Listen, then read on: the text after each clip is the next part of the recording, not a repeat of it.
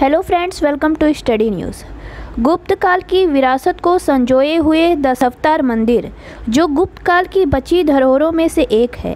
ये देव प्रतिमाओं की अनोखी मुद्रा वाली यहाँ की कलाकृतियाँ, शिल्पकला की बेजोड़ विरासत मानी जाती हैं। दशावतार मंदिर कला और पुरातत्व का वो बेशकीमती नमूना है जिसकी हर कृति और शिलालेख गुप्त काल की आखिरी विरासत है। तो जानेंगे इस दशावतार मंदिर के बारे में, सो लेटस स्टार्ट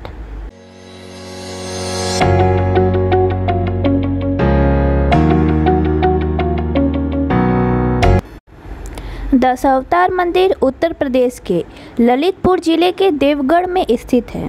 यह भगवान विष्णु का मंदिर माना जाता है। ऐसा माना जाता है कि यह मंदिर गुप्त काल में बना था। यहाँ आप भगवान विष्णु के दशावतार के दर्शन कर सकते हैं और मंदिर के द्वार पर गंगा और यमुना देवियों की नक्काशी की गई है। पट्टी पर वैष्णव पौराणिक कथाओं की नक्काशियाँ भी की गई हैं।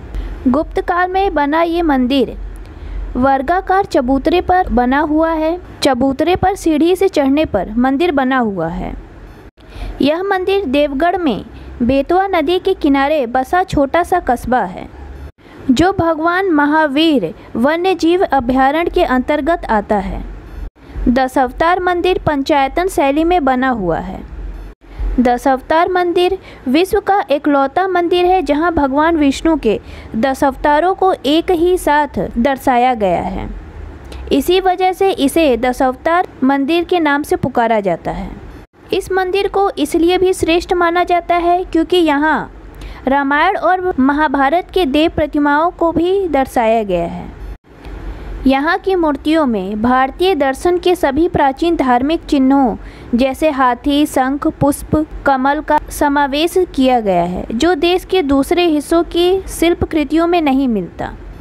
ये दशावतार मंदिर का कलात्मक द्वार है, जहाँ पर कई देवी देवताओं की मूर्तियाँ नक्काशी की हुई मिल जाती हैं। ये भगवान विष्णु की मूर्ति है जो द्वार पर ही बनी हुई है। ये दशावतार मंदिर पे बनी हुई देवी गंगा की मूर्ति है। इस मूर्ति में आप नर और नारायण की मूर्ति देख सकते हैं। ये गजलक्ष्मी और मूर्तियों में सबसे लोकप्रिय गजेंद्र की मोक्ष मुद्रा में मूर्ति है जो जिसमें भगवान विष्णु को आराम करते हुए दिखाया गया है। कई इतिहासकारों द्वारा दशावतार मंदिर का निर्माण पाँचवीं शताब्दी के अंत और छठी शताब्दी के शुरुआत के दिनों के बीच लगाते हैं। लेकिन कई इतिहासकार यह स्पष्ट नहीं कह पाए हैं कि इस मंदिर का निर्माण कब हुआ था। लेकिन इस मंदिर में बनी मूर्तियों से ये पता चलता है कि इस मंदिर का निर्माण लगभग छठी शताब्दी में हुआ था। इस मंदिर में रामायण और कृष्ण लीला से संबंधित दृश्यों का चित्रण बहुत ही कलापूर्ण शैली में किया गया है।